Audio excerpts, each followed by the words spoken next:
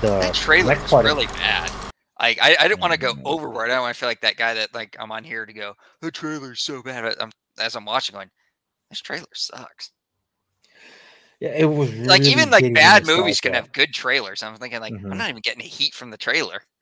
Yeah, no, it was really trying to draw. Like, oh, you like dinosaurs? You wanted to see them out in the world. Oh, that's John Hammond. Remember him? He's from the other movie. Yeah, that's literally what they were doing. But this will make money. Oh, it makes money. Yes, sir, it does. Yeah, I can't. I can't wait for the for that pitch meeting to come out. It's like, like, why are we gonna bring Jeff Goldblum? It's like, like, well, He's from the for first two movie. minutes.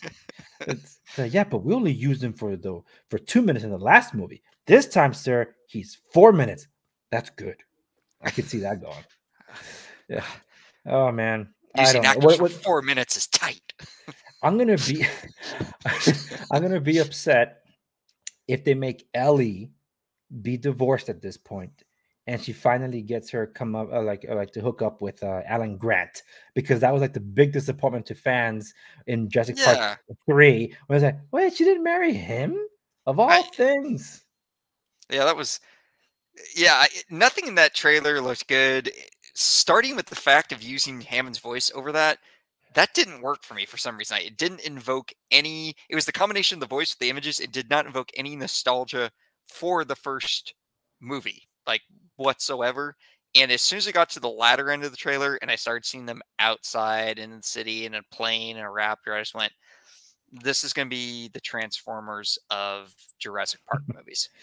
yes and uh, hopefully not the, not the Star Wars of Jurassic Park because Star Wars butchers all the main characters just to make way for the new ones like you already introduced them man just uh, whatever I don't know It looked like one of those movies that, like Chris Chris Pratt's character probably has nothing to do in this movie. Probably has terrible terrible dialogue and will be completely wasted, and all the cameos will be wasted. Jeff, I love Jeff Goldblum and almost anything. He's he's like second to like Christopher Walken. Where, where it's like I see him, I go, oh good, at least he's in it.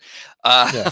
and they look like they wasted him too. I, it, that whole trailer just looked bad. I after seeing that, I, I don't think I would go see it even if some friends just said we're gonna go watch it. Do you want to come with us? I'd be like, you know, you know what? I really got to clean the condo. It's it's getting a, it's a little dirty.